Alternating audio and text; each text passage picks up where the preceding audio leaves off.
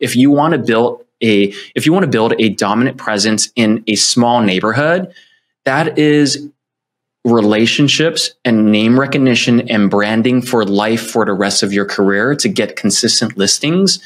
There's farming is one of the best ways to do that. Welcome back, Real Estate rock stars. I'm Shelby Johnson, and today I'm here with Wilson Leung out of San Francisco, California. He has been in the real estate game since he was 16 years old. He's 35 now, um, but he's been licensed since 2010, started his team in 2014. And this past year, the team closed 82 units and just under 100 million in volume, and half of those were listings. And the cool thing, one of the cool things about Wilson is that he is still the primary listing agent on his team. You know, he, he built it up so much that, you know, a lot of us are familiar with the seven levels and the seventh being, you know, you're out of the business really, but he chose to stay in the business and still doing listings and a lot of interaction with his team. So today we are going to go deep into farming and into his actions as a listing agent, getting super into the nitty gritty, really tactical, what to say, how to win, all of those things. So, Wilson, welcome. Thank you so much for having me. I look forward to sharing what I can to help the agents listening. Um, and thank you so much for the great intro. Dude, of course. Let's freaking go. Okay, Wilson, you got into the game when you were 16. How did how why real estate? What is t- tell us a little bit about your journey. I know we got like 20 years to cover here, so you, you pick and choose what's important. Yeah, so um, I'll, I'll give you the bullet points so we can make it the TLDR version. 16, I was a property manager for my parents. Uh, my parents were in a, you know, their own businesses. They traded seafood. We traveled um, down to Mexico to ship things to Hong Kong and China. And that showed me that if you take risk uh, and it was a capital intensive business. But if you, most importantly, if you take risk and you do things that are unorthodox, um, you can succeed and you can control your income and how you spend your time as much as there are sacrifices and there are risks along the way. So they eventually sunset the business. And because I got early exposure in property management, when I was 21 and I graduated from college, I got my broker's license at that time in California. You can go straight for the broker's license. And when I turned 22, I started full time in real estate sales. Now, I think um, the part of the story that most people don't know is I'm an introvert. I have no sales skills. I never worked a W 2 outside of helping my parents in business.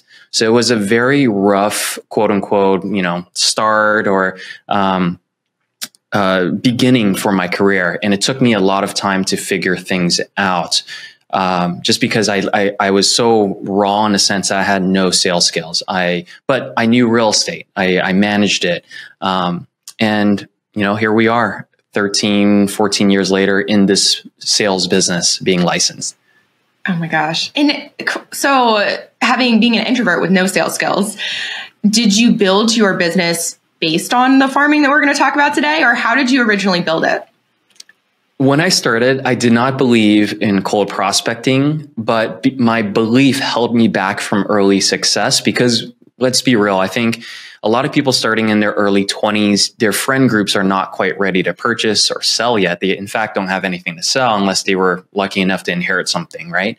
And their parents are not going to be convinced by, you know, their kids who are, you know, young adults uh, to convey a message to work with me. Totally. So yeah. the quicker that I realized that I needed to go out there and, and put myself out there and find cold and convert cold business, um, that's the only that that's like one of the main ways I was able to succeed. So I had to grow up quick in this business to be able to uh, succeed.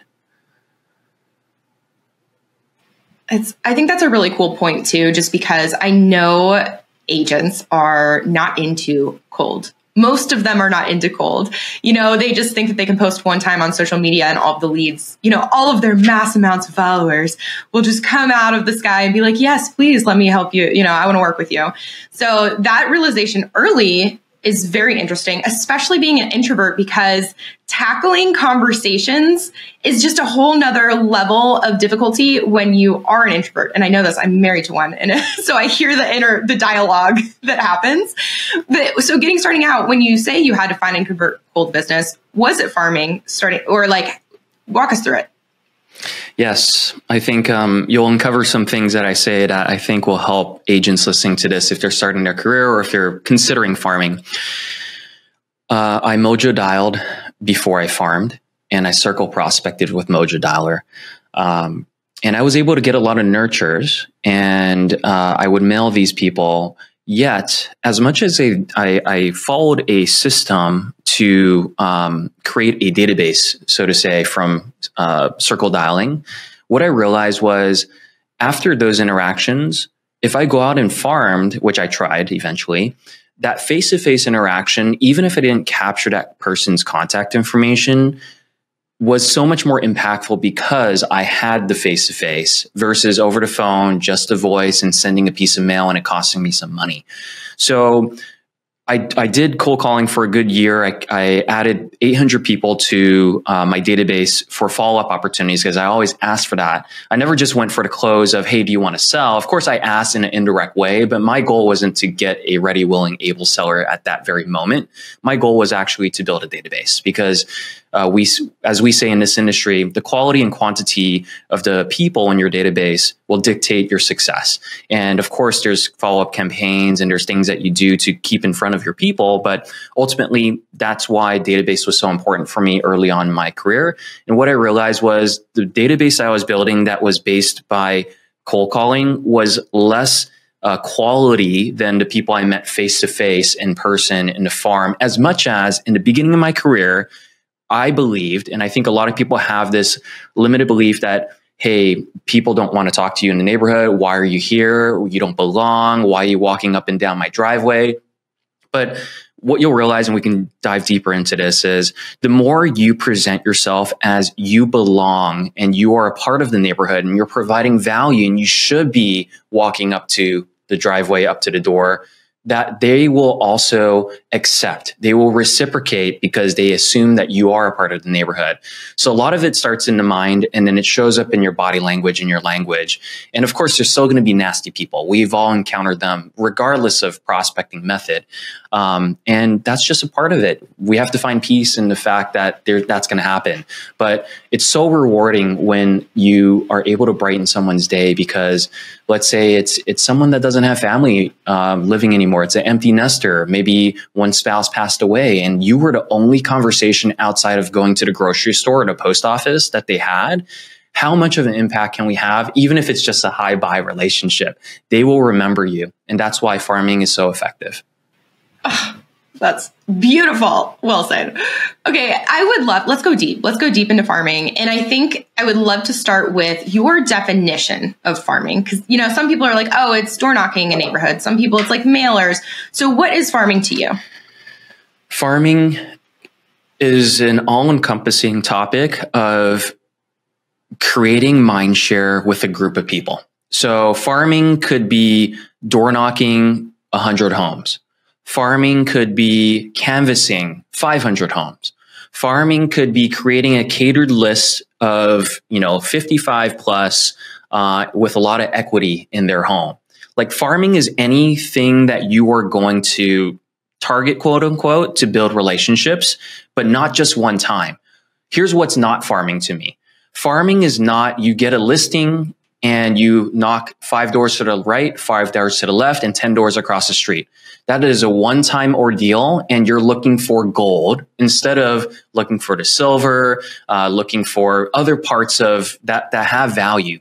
Um, building relationships take time, and yes, you will find gold along the way. Maybe one in 250 people you talk to is going to say, Hey, yeah, uh, Shelby, I'm ready to sell. But oftentimes these you we have to nurture these relationships way before they even suggest they are interested in selling. And if you adopt that mindset of building a relationship eh, taking priority over finding a listing today you're going to show up different and they're going to be more accepting of your opportunity to follow up because you're going to give them something of value. Okay makes sense. How do i pick, let's let's just do a hypothetical. You know, sure. in maybe in this market today, that right now it's the very end of November 2023, which means this probably won't even come out until January 2024. Perfect. So if I want to get into farming for the first time, what are my considerations in regard to picking a farm? Yeah, let's just start there. Okay, perfect. So let's break down um, traditional farming, which we'll, we'll talk about, is uh, a geographic location or a neighborhood. And there's two types of property types, at least in our area. There's going to be single family and there's going to be condos and townhomes. Most condos and townhomes have CC&Rs in there that they have some sort of no solicitation kind of clause where if there's a shared entry for condos, you won't be able to get in anyways. If it's a gated community, you won't, you won't be able to get in anyways. So I would say traditional farming, you typically also still want to target single family homes. Resale homes are the best because most of the time people have varying degree of occupancy there. It's not completely new. And um, there's, there's a huge kind of um, range of, uh, different people, uh, different population that lives there. And with that variety, um, it, it, it, actually makes it more fun too because you get to meet a lot of people. But uh, those are the ones that you likely could solicit. So uh, what I'm suggesting is check your city and or your HOA rules if you're farming a condo or townhome. With that said, the turnover rate for single family residences across the board is going to be a bit less than condos and townhomes, which is fine. And with that, I would say the more affluent the neighborhood, the larger the lots, the actually the bigger the barrier to entry to farm a more affluent neighborhood because they also probably had a couple of moves to get to that neighborhood. So my suggestion is if you start farming, unless you really love a neighborhood or you live in one, uh, Shelby suggested the most important part is dissecting based on best practice as a business person. So what we did was we picked the non-affluent market that no one wanted to work uh, because the barrier to entry was easier. The turnover rate was very similar. In fact, I think a, a more entry level single family residence neighborhood has higher turnover than a final destination affluent neighborhood where people want to stay longer term because you're, you're, you're targeting some, a place that it's a first time uh, purchase, but also they might have future aspirations and it becomes a buy sell situation for you as an agent. So the next part I would look at is ask your broker if they have access to broker metrics or do some research on the MLS to look for if there's a consistent dominant agent in the pocket that you're looking for. Because there's two parts of getting a listing it's getting the attention to get the call. And then the second part is converting the opportunity at the consultation if you're going up against a prominent agent in your market, you might always get the call, but you're always going to face the the person that has been winning already for some time, which creates, you know, what I consider a uphill climb where if you choose your farm correctly, you don't have to create the uphill climb for yourself. It could be easier. The friction could be less. So the most important thing I look for is um, first decide the type of property. I would suggest single family residence neighborhoods. Second, I would look at not just turnover, because turnover is going to be similar across the board, but competition. Who is getting market share? So let's dissect that even further. If there's one person with 8% or more, that person's pretty dominant. That means they're getting about one in 10 transactions, one in 10 listings there. If there's three people getting about 10% and it's scattered across like three, three, four, that's not bad. It doesn't, it means that there's not one person or one group or team that is taking too much market share. You, you want to look for a market that has pretty scattered uh, representation when it comes to listings. That means no one's putting in effort and let's say someone is putting in effort, they're not getting the business yet. And as you start farming, you'll start seeing who's leaving things behind. As you start build, building relationships with people on the farm, you'll start asking and they'll start saying, these are the people that actually come out here, or maybe it's non existent. So that's how it would start. And in terms of capacity, you can in our neighborhoods you can canvas about 75 to 80 doors per hour which means you leave something behind snug under a doormat or in between a doorknob or under you know the, the garage keep in mind the mailboxes are the property of USPS, so we cannot put things in the mailboxes, right? But we can leave things snug, especially in our area. It gets really windy. Um, so canvassing, you can do 75, 80 doors per hour. If you're actually knocking in our neighborhoods and having conversations, you'll probably do 25 plus or minus doors per hour, but your conversation rate will be higher per hour. And I'll stop there. Okay, I was wondering. I was like, I have questions. Okay, so on this canvassing, are you they're leave behinds, seventy five to eighty doors an hour? Are you actually trying to have a conversation? Are you knocking on the door at all? Really good question. If you're starting your farm, I think you'll build a bit more confidence by walking up and down the, the pathways and, and up to homes more frequently. And eventually, once you maybe do two, three pass bys and drop offs, you'll start building the confidence and familiarity with these properties where you might have said some in passing a hi bye or hey your garden looks great or i love the paint color of your home or hey i'm so curious what you've done your you know when you did your roof because it looks great or whatever. Or you're starting to notice the christmas de- decorations right now it's december or early in the year they might have different decorations and you might make comments as in compliments to the people in canvassing you are not intentionally knocking on a door but of course if you do pass someone walking their dog or gardening or doing something you are having those conversations and I'll yeah, kind of weird. break down. yeah, don't be weird and you know act like you you're there and oh say, oh shoot, someone's there. I don't want to talk to. Them. yeah, uh, I'll I'll give you a really good idea. When you know when trash day is in your neighborhood, that's the best day to go because you can always offer help they're not going to take your help. Ugh. Like you can say, Hey, do you need help with, you know, taking the bin in or taking the bin out? They're always going to say no, but it's almost like you start the conversation on a positive note and they're like, who's this stranger? And eventually they get to know you and you'll have more interactions per hour. Um, of course, knocking, you'll, it's more intentful. You'll have more conversations per hour, but it's still highly efficient to canvas and leave things behind per door per hour, but you'll still have, I would say, six to eight conversations per hour any time of the day, just canvassing. Here's a quick commercial break from our sponsor, Ryan Pineda. If you are trying to grow your real estate investing business, then you need to join us at Wealthy Investor. If you have no idea what Wealthy Investor is, it is our coaching program and community. We have helped thousands of students worldwide grow their business. Now, it doesn't matter if you're just getting started and you're trying to get that first deal, we can help you do that. If you're trying to scale your business and go from a few deals a year to a few deals a month or even seven figures a year, we can help you do that too. In fact, last year alone, we had over 30 students do over a million dollars in revenue. And I'd love for you to be the next one. So it's pretty simple. If you're trying to grow your business and wholesale more homes or flip more homes or buy more rental properties, then you need to go to wealthyinvestor.com and book a free call with our team. It's super simple. We'll go on a strategy call with you and figure out how we can help you grow according to your needs. So, all you got to do is go to wealthyinvestor.com, book the free call with the team, and we'll see you there. Now back to the show. Okay, I have one more question on canvassing. What are we leaving behind?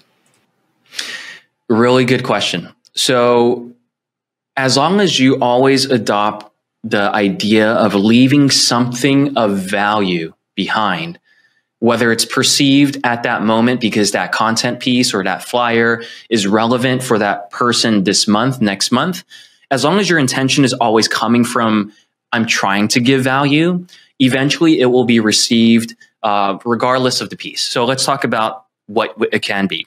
The most basic is solds, the most basic is um, market data.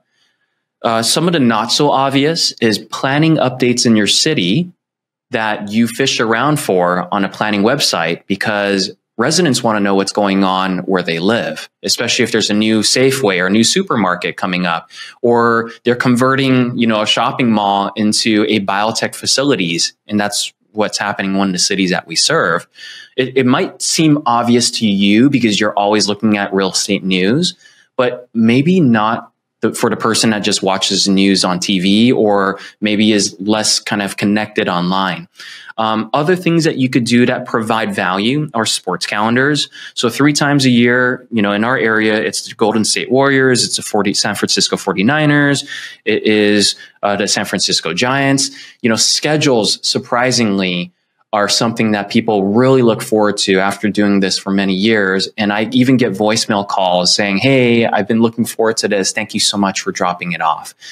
It makes people's days, even though we know it's so convenient. We have it on our phone already. We can look at the schedule. Google tells us the moment we search our local team if there's a game today.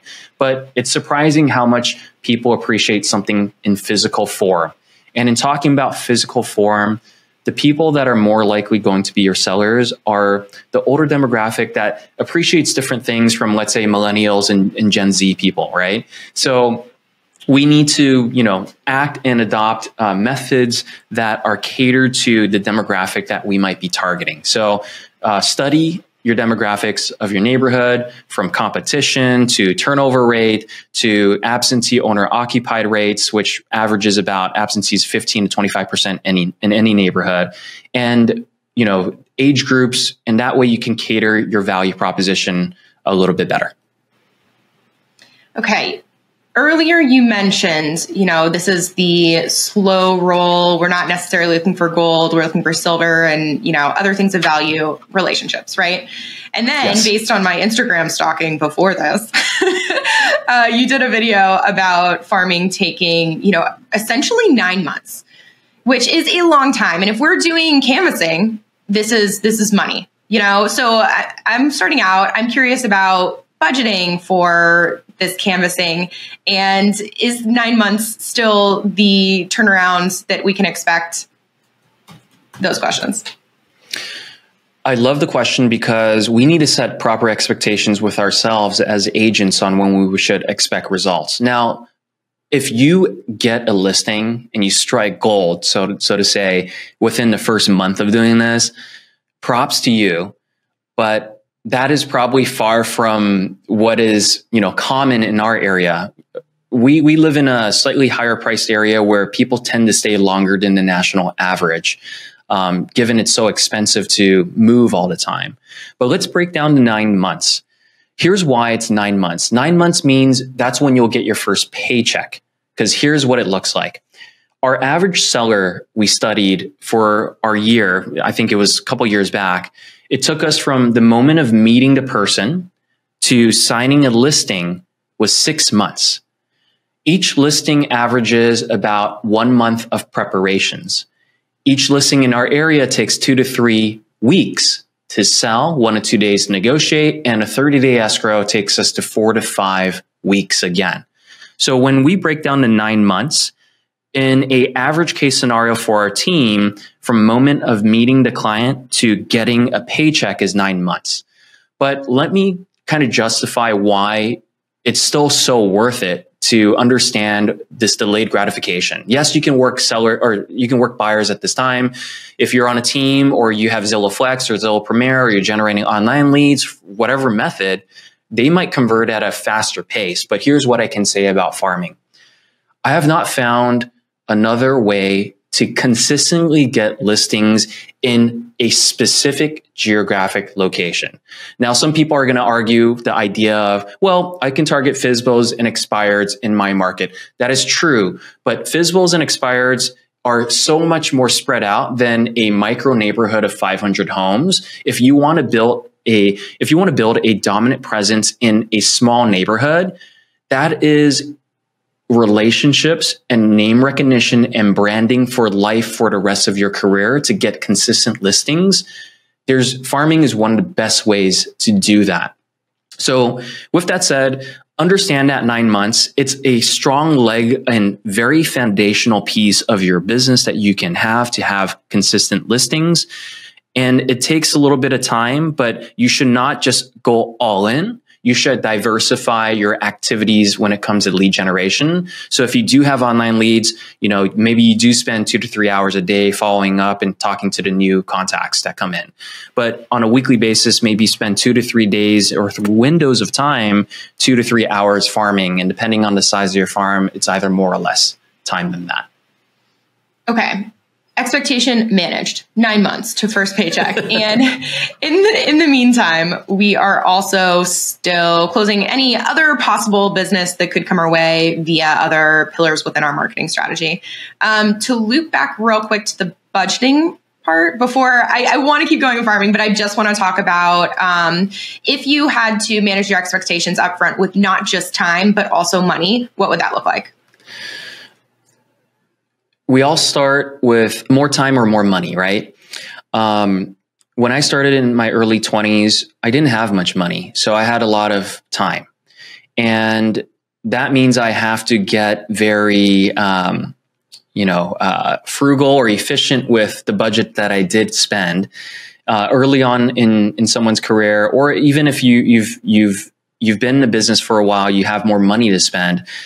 You know, if I were to restart, maybe that's the best way I can uh, answer this question. Is I would print valuable information at my office. And that way it's cost savings because I'm already paying my dues to my office and I would pass those out. Now, is it the most quality piece? Is it cardstock? Is it full print? It probably is not, but you have to start somewhere.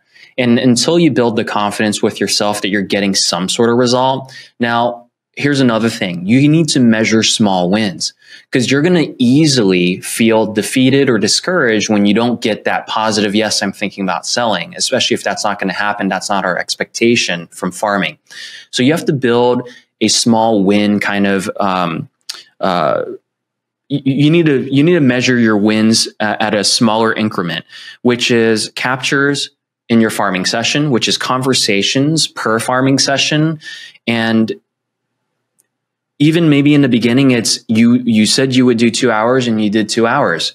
Now go reward yourself and grab you know an afternoon cup of coffee or the costco pizza that you you crave. Like go reward yourself. Build that Costco. like self mechanism mechanism so that you are encouraged to do it again. Or like for example um, it's a warm up before you go to the gym because you're breaking the sweat walking you know speed walking in the neighborhood for example. So um, but measure the small wins and that that's my kind of best advice but start small print at the office. Once you start justifying you're getting results then go to a local printer and print higher quality Quick pause. Are you looking for new ways to lead generate? Aaron built his own software to generate off market seller leads and just released a version for you. PropHawk is the most efficient and least expensive software out there, designed to get you talking to sellers within minutes. With all the data of PropStream, the CRM power of InvestorFuse, and texting capabilities of Launch Control, you can get everything in one system for a fraction of the price of those others. Your investment is just 20 bucks a month and includes an hour long free onboarding call so you start talking with sellers today. Go to prophawk.com and sign up. Now, back to the show. Okay, and so over this time period, it's you know, value first and basically canvassing, trying to have small conversations, you're working your way up to door knocking and I guess other than we got canvassing, we got door knocking what other things are we doing in the neighborhood? And when we start getting more comfortable with these conversations, are we at all like, can we walk through what the conversation looks like? Let's walk through the conversation. I'll answer your first question of what else are we doing. At this point, we have 10% market share. So that means that we always have listings and we always have signs and pe- neighbors are coming in. We're inviting them to our open houses and twilight tours and Twilight tours are champagne tours or wine and cheese tours. So we try to make it fun. Um, so they they constantly see our signs. They see us in person if they're able to make it. They're walking in the neighborhood. They pass by and they come into the home that we're hosting. The other things that we do are events, and this is probably not a new topic, but hosting your first event is probably the most friction, honestly, in your mind more so than it is hosting it and putting it together. So on a yearly basis, we host two picnics a spring Easter picnic with an egg hunt. We also host a fall picnic back to school.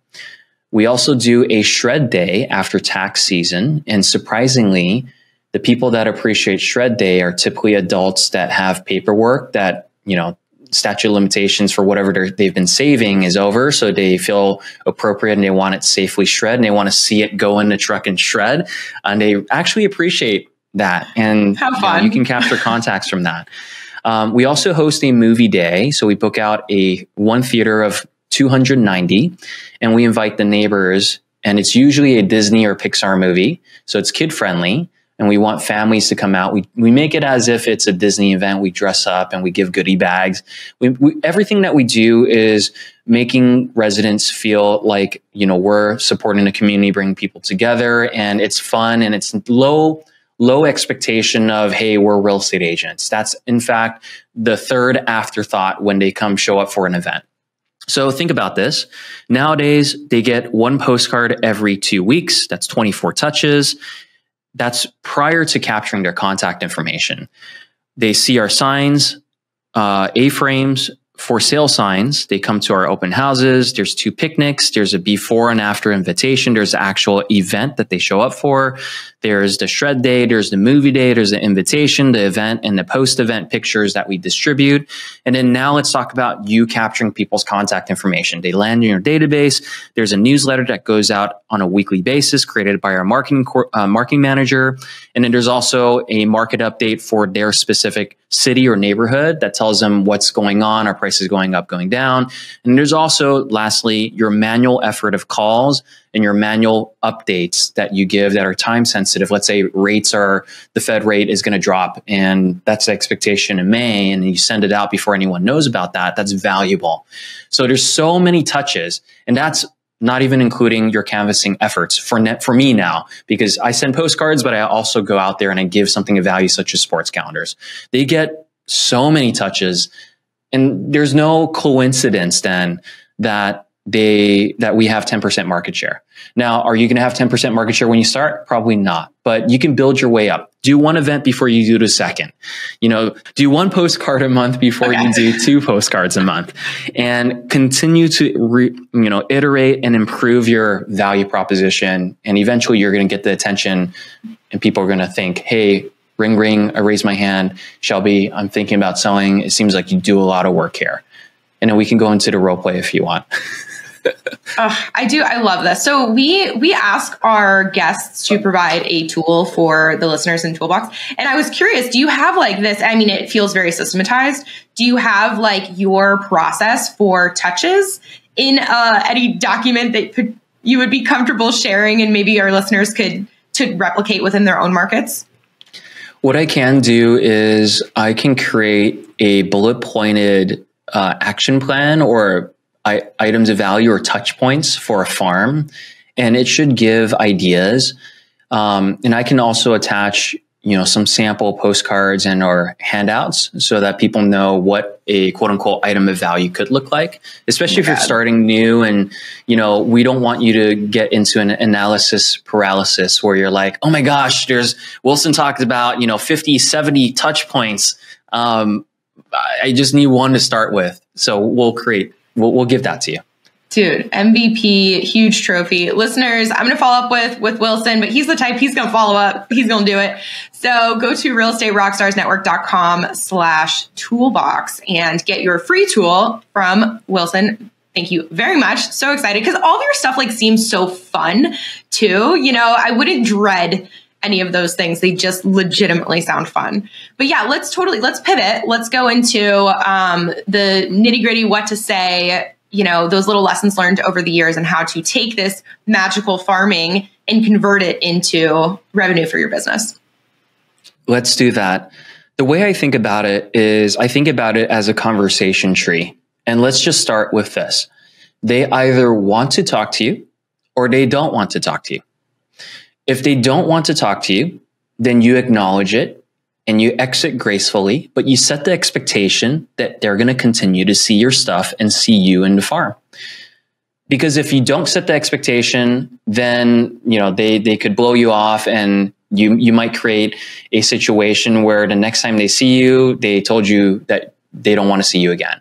So let's talk about that conversation first. Let's say I canvass and I say, Hey, how's it going? It's Wilson. I wanted to make sure you received this market update or this invitation to a picnic. And let's just say they're very sour or they're just short on time at that moment. They say, Oh, don't, I don't want any of your stuff. Most of us will say, Oh, um, all right, have a great day. See ya. And then you walk away really quickly because we feel the rejection. I think that is a natural response because you're getting away from a uncomfortable situation, but that is not the best response that you can have. Here's what I would say. let's say Shelby says, "Oh, um, you know, I, I don't want any of your stuff. Don't leave it behind." I'll say, "Hey, I appreciate you so much just for telling me. It seems like you're busy at this time, or there's a lot going on." I just really appreciate meeting you. By the way, my name's Wilson. I know you don't want this, but it's really valuable. I'll leave it at the doorstep. So on my way out. And by the way, you know, I, I'll see you next time. Just that mirror, I'll see you next time. And also, you're not pushing in a sense that you're doing something they don't want. You express that there's something of value that I'm handing out. And that's the reason why I feel compelled to leave it behind still, even though you told me to get lost and you don't want it they do not expect you to be pleasant. They expect you to, oh my gosh, I'm going to walk away. So when you are actually pleasant and you reaffirm and express that you have something of value, they have a hard time rebuttaling because they they either have to double down on being the bad guy, which no one wants to be, unless they're just really truthfully really busy. And if they tell you no, I don't want it, then you still give yourself a graceful exit and say, hey, look them in the eye and just say, Hey, I really appreciate your time. Thank you so much. I'll see you next time. Because the next time, like when you leave, let's think about what's going on in this person's head. This person might be busy. They're not going to remember you. But if they were to vaguely remember the interaction and the next time they see your face, because human beings were really good at like assessing and fight or flight response. If I remember my like rough positive or negative connotation I had of that first interaction with you, and it's positive, but I don't remember what it was because it was so brief. It was like 10 seconds. Guess what their natural body language and inclination is going to be the next time they see you? It's going to be more open because they remember something positive, right? yeah. Exactly. And it's like, and, and here's, here's the trick. Let's say it's that same person and you meet them again or taking out the trash three months earlier and you remember if people are like me, I'm a people watcher and I'm somewhat of a troll. I like to see people's reactions. But that interaction specifically, I act as if we're best friends that haven't seen each other in a long time. So when he's taking out the trash, even though I remembered a conversation, it wasn't good, but I left in a positive note, I'm going to say, Oh my gosh, how's it been? The last time it was about three months ago. There's something different, item of value X, Y, and Z. I wanted to make sure you received it. Do you need help with that? Are they really going to reject you? It's so hard to keep the negative, you know, quote unquote mindset or the negative kind of frame that if they have to continue that every single time they see someone like you in the neighborhood, oh my gosh, they are really the Grinch of the neighborhood. Maybe you don't want to have a conversation with them. But the likelihood of that actually happening is very low. They're going to remember you. It was a positive first conversation. They might actually say, Hey, yeah, I remember you. And once you start having a conversation, here's when they when it's a yes, which it goes into the, the, the conversation tree. If it's a no, exit gracefully, accept the expectation. If it's a yes, and let's say in this instance it's a second conversation, treat them as a neighbor. Ask them how they've been. Ask them, you know, what they've the most recent thing they've done to their home. Ask them, you know, if it's close to the summer or do they, do they have any summer plans? If there was a recent basketball game for a local team, ask them, hey, how do you think we did? Are you a fan? If you see, you know, a flag of the Marines, ask them, hey, I'm always been curious. I didn't get a chance to ask you the first time, but can you tell me a little bit more? I'm curious. I would love to learn more. Where did you serve? Or is there someone in the family that served? If they have a beautiful garden, ask them, hey, you know, do you do it yourself or do you actually hire a gardener? It looks great. There's so much that you can talk about. And guess what? I didn't mention real estate. That's what they're going to appreciate about you because you took the long term approach. You're not the guy that's an investor that's leaving a handwritten note saying, Hey, have you thought about selling? Because, you know, truthfully, they know when their house is the shitty one on the block right? But you appreciate the little things that you notice about them or their house, and you played a long game to build a relationship. And the byproduct of them having the good conversation, you is for you is keeping in touch. And there's a little bit on your value proposition of a flyer that probably mentions that you're a real estate agent. Real quick, before we get back to the episode, two things I wanted to share. First, thank you so much for tuning in week after week. It really means the world to all of us. Second, we feel like we're just getting started. If you enjoy what we do here, please follow us on this app, share an episode, or give us a quick review. I promise we're working hard behind the scenes to make this show as good as possible now and into the future. Thanks, guys. Back to the show. And Is that is this- a strategy. Is this like, do you do this with your team, like as a role playing scripting type of thing where you go around the circle and you guys have to be on the spot, ask them something about, like, is that like a popcorn thing? I feel like that would be really fun.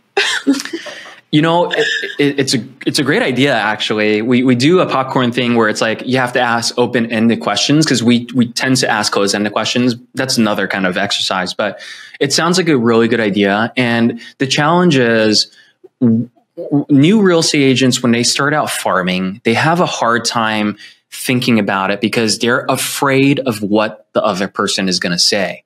And that's why they want to stick to a script, yet it's they haven't adopted it in their natural language and it comes across as very rigid. Um, my best advice is don't have an expectation that you're going to talk about real estate. Just go out there and have the frame that you belong there and that you are providing something of value and your intention is to just get to know these people because they're human beings. And that's it. If they do bring up, oh, by the way, you're a real estate agent, how's the market? Then maybe you need to have some sort of canned response or something that you've prepared to carry that conversation forward to, let's say, the end goal that you're looking for, which is a nurture relationship or a walkthrough scheduled later. But Which um, that's what. yeah. So I'm like, I'm so with it, love it. Don't be the salesperson down the throat type of thing. But at what point is there any sort of push or open door, or do you just wait? You just know that your farming is doing its thing. Subconscious, we're taking over mind share. Like, how does that piece play? I think this is such a counterintuitive method of farming that you're if we if we kind of dumb down business to if we don't have relationships, we don't have opportunities to buy help people buy or sell. So our goal is to build relationships. And if we have a relationship, that conversation of specifically real estate and needs will come up when they have a need and you're the first person they think of. If you remember the red book, in there it says how many agents does a seller interview before selecting one and it- i think it was one third of the time they talked to one agent and about 70 to 80% of the time they talk to two so as long as you're position number one and sometimes you might be position number two if there is a top agent or if there's a friend or family member that's a realtor in their mind you are just positioning yourself with your farming efforts to be that person they call. Now, let's act with a little more intention because I know where you're going with this question. Let's say out of the if you're farming and you're you're touching each kind of door once a month, one in 3 or one in 4 or one in 2 conversations or value points could be specifically about real estate. So the intention is typically your your your value proposition will bring up the conversation of real estate, but your verbal conversation tends to be about building a relationship. So what does that look like when you go out there? Let's say I knock on a door. I haven't met you before. Hey, how's it going? My name's Wilson. I'm uh, I'm, I'm a neighbor as well. I wanted to make sure I provided this item of value events. And oh, by the way, I'm just so curious. How long have you lived here? We have a market update on the other side. And that alone brings up the idea of real estate. And if they have a question about market, their house, their goals, and they feel compelled that and comfortable enough to talk to you about it, they probably will at that moment. If not, then build a relationship. Do you ever straight up ask for their contact information? Like, at what point does that piece happen? Really good question. Let's break it down by they don't want to talk to you and they do want to talk to you because you can ask in both instances. Let's say I knock on your door or I see you coming out and you say, Oh, no, I'm good today. Hey, look, it sounds like you're really busy at this time. I'm going to make sure I leave something of value behind. This is a market update. If you're like any neighbor in the neighborhood, most people really appreciate the market updates that I create because it's specific to XYZ neighborhood. What's your best email? Is it a Gmail or Yahoo? So I can send you the market update and you look at your phone. And they say, "Oh no, no, I'm good. I'm good. You know, I, I, I don't feel comfortable giving my information out." Hey, look, I really appreciate you saying that because if I was meeting someone for the first time in neighborhood two, I would feel exactly the same way. So I totally understand what you're saying. Why don't I do this? If email's not as convenient, why don't I text you? Here's here's my iMessages. What's your phone number? Is it a 650 or 415? I'll send you our most recent update. Now, you be the judge. Read their body language. If they're absolutely a no, maybe don't go for it a second time. But here's what I do know if you don't ask, what's the chances of them giving contact information or for you to have a follow up? Zero. yeah, it's it's just a math equation. I'm gonna be your A student, Wilson. I'm here yeah, if, to if, win the gold if, star. If you don't ask, yeah, it's clear. it's gonna be a zero. But if you ask, even if it's a 15% chance, after talking to 100 people, just because you purely asked, you have 15 people, additional people in your database. Look, people have defensive mechanisms and habits built into how they respond. When you walk into Nordstrom and you know the person has good intentions and they're asking, Hey, how can I help you today? Do you need help finding a size? What's our gut reaction? I need nothing from you. Please leave me alone. Uh, I'm good. Um, I'm just looking. Yeah. So your job is to ask the, the, uh, the, additional opportunity question, which is, Hey, look, I totally understand that. I'll be right here if you need me to help with the dressing room or finding a size. Or you can also say, Hey, look, I appreciate you telling me that. Do definitely look on your own. I do want to remind you that today we have some sort of promotion and most people don't know because we don't put it out there, but I thought this would be helpful. What did you just do with the consumer? You made it easier for them to re enter a conversation with you because they put themselves on a pedestal that, no, I don't need help. But you need to create a pathway for them to step down to have a conversation with you. Otherwise, guess what? Because they feel like they feel bad, they might not re-engage you. They're going to re-engage the shoe guy uh, in the shoe section, right? Because you you you were you were offended by them saying no, and you didn't say it, but your body language showed it, right? So that's why these little things are important. Dude, these are the little things that make or break. Like I want to I want to do a whole show just on these little tweaks. And right now, I mean, we're at we're at 44 minutes, so I have to I'm going to ask one more. Is there any other like you know, little wordsmithing thing that you love that maybe is your favorite that could be really impactful for our listeners? Yes. Um, I would say that it's, you know, when I think of wordsmithing and scripting, I think of seven habits in the section. It's called em, em, emphatic, empathetic listening. And if we use quick fix and um, we, if we try to scheme our way into earning the trust of people, the words might make sense, but the person's heart and gut doesn't trust what we say. So I think fundamentally, we always have to start with our identity, our value, and our character. If you are out there looking for business today, yet your language is trying to build a relationship, it's going to show in the way you show up. Um, so, with that, the best way to kind of adopt the right way to think about it is what I said earlier is just to go out there and you heard Shelby say it, go out and have fun, right? If you're having fun and you're lighthearted, it shows on your body language, shows on your face. You're not offended by little things that people say. They're going to appreciate you because you look resilient and you also maybe are the only positive person that they had in their life because they had a rough work day, for example, right? So, and then if it's a more tactical thing, I would always use a structure in a response, which is appreciate, reframe, ask a question. So, whatever they say, no, I'm not thinking of selling. Hey, I appreciate you so much for saying you have no intentions on selling, which from my understanding is I meet a lot of neighbors out here. That means you love where you live. And I appreciate that about you because I love this neighborhood too. And that's why I'm here. By the way, I am curious because you do love it. How long have you lived here? So if you can adopt that framework, you can de escalate any situation And maybe it's not a de escalation. Maybe it's, oh, you know, I'm so curious. How's the market? Use that same process. I appreciate so much that you ask about the market because I do see what's going on since I'm the local real estate agent. And you're probably asking because you're curious about home values and what's going to happen in 2024 next quarter. And I'm so excited to share with you. Can I ask, are you looking to refinance? Are you looking to move? Are you looking to invest? I use the same exact framework in a negative and a positive conversation. And it's so effective because it, it continues the conversation. And if you can adopt that framework, you are golden for any conversation. So hopefully that helps.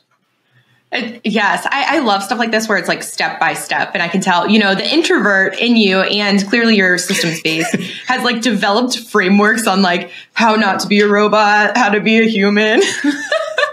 Nailing it. Um, okay, Wilson, this time has flown by. We are headed to our wrap up questions, which is number one. Oh, and by the way, I changed this from our show flow, so we're about to go off roading. You didn't know this was coming. What is something cool that you've learned recently? Doesn't have to be real estate, it can be anything in your life, or it can be business. Something that I learned recently let me think about this real quick because I totally do read and think. listen to a lot of stuff. So yeah. I feel like a lot of it is re- reaffirming. Um, okay, here. Something I learned recently, and it's also always a reminder at this time of the year, is that this is what Ed Mylett would say is separation season. And the reason why separation season is not you comparing yourself to others because people take time off, but the perception of you know we're we're we're human beings. In some ways we act as a herd. So when we see people enjoy the holidays not that we shouldn't enjoy the holidays that means that people are putting lifting their foot off the gas pedal which means we tend to want to do the same because it's the holidays. Let's be real. This market slows down. Our market is seasonal um, and we should enjoy. But it doesn't necessarily mean separation in terms of activity in real estate sales I think of separation season as well as self education. This is time for you to catch up on the book that you bought, but you didn't read yet, or the podcast that you bookmarked or you haven't listened and you haven't listened to yet, or some sort of skill that you wanted to develop, but you haven't yet, or the hobby that you want to play the guitar or paint something and uh, you know channel your creative uh, side of who you are but you just haven't been able to that separation season to me is finding joy in doing something that you've put off because you have been busy during a busier time of the year. Um, and, you know, a lot of times it's not just business, it's how you can fill your own cup. So that's something that maybe it's not a brand new thing I learned, but it's always a reminder at this time of the year because we're so used to go, go, go. And we're also used to the seasonality of our business that we tend to forget what brings joy and fulfillment to ourselves. Love. Okay, Wilson, what events are you going to in the next 12 months, if any? In the next 12 months, I'm going to be going to KW Family Reunion. I will likely go to one GoBundance event, um, which I think uh, Aaron and you know that started by uh, David Osborne, who's a part of you know KW as well, same company that I'm at. Um, other events, uh, you know, I, I, have a newborn at home, so I, I haven't. The intention is not to travel as much, and I've been staying at home more but I usually go to three to four educational events in a year. And uh, it tends to be either company specific or GoBundance specific or uh, other educational um, events. So maybe uh, the event that you guys host. Real Estate Rockstars Mastermind? Oh, yeah. Because I've seen uh, pictures. Well, it's like the best time ever. Uh, it is technically sold out, but you know, you being in GoBundance and Bros with Aaron and stuff, then I'm sure, I'm sure we could magically find a ticket. uh, maybe, maybe, maybe there's a cancellation. Maybe there's a cancellation, true. And congratulations on your newborn. I saw that also in my stocking. It was very cool. Um, Thank you. Okay, Wilson, how can listeners help you in your business? How you can help me in my business is I have received so much from other people. Anything that I said is not a reinvention, is just in my own words. So the best way you can help anyone such as myself or anyone that you listen to on this podcast is just to give, you know, give us your takeaways. If you do listen to this and you found it helpful, you know, nowadays we're still visible online. We're no secret agents. You can find me most likely on Instagram is the most convenient. Just DM me and say, this is my takeaway from what you said. And that, that makes me feel that's, you know, the f- fulfilling loop of feedback that this this was worth it because I know it's going to be worth it. You know, I'm I'm an observer of a lot of content myself too, and I don't always comment and I don't always like. But when I take something away, it's almost like I try to think about how I can put in action, and then I just go. And um, you know, just showing appreciation if you did receive something. That's it. Dude, that's a really good one. No one has said that before. And you're totally right about the loop. Like, you know, giving value, receiving the value. But then when people reach out and let you know that it was impactful, you're like, ah, oh, my heart, it just exploded. Okay. And listeners, you can find him at Wilson, W L R E A, which, which is, what is that? Is that? Yeah, that stood that for mean? Wilson, Wilson Leung Real Estate Associates, which was our early team name. And I gotcha. haven't changed it. Uh, although our team is more so the Leung team now. So, um, yes, Perfect. it's a legacy team name that we had, and it's Lovely. an abbreviation. And it will also be it's in the show notes, so you can click it there. Also, check him out on YouTube. Same handle at Wilson W L R E A. Is there anywhere else you would like direct to direct listeners to, Wilson? You can always text me. Our business line is uh, 650 280 8888. And I'm very, very responsive. Uh, so if you ever have a question about farming, I know part of this, we had a couple of things we could have talked about. If there's anything in business in general, um, you know, I run a 17 person team. We have five staff members. Um, in the past three years, we are going to sell over 500 million. You know, we've encountered a lot of different things. So if I can help in any way, feel free to text too. Perfect. Thank you so much for coming on the show today, Wilson. Listeners, go hit him up, show him all the love. And if you want to hang out with me and Aaron, we are the Shelby Show and Aaron Amugastegi wow, Amuchastegi on the gram, world's easiest last name. Uh, please hit us with feedback, stuff you like, stuff you don't like, um, and then also let us know when the show, you know, hits hits in the feels. We want to know. And otherwise, guys, that is all we have for today. Wilson, again, thank you so much for coming on the show. And Real Estate Rockstars, thanks for listening.